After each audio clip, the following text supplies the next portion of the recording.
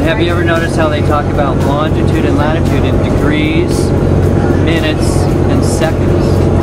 Right? Yeah. A nautical mile. One minute times 60, that would be one degree. Right? Nautical miles divided by 15. 21,600. How far the Earth is is approximately 25,000 degrees, 360, nautical miles.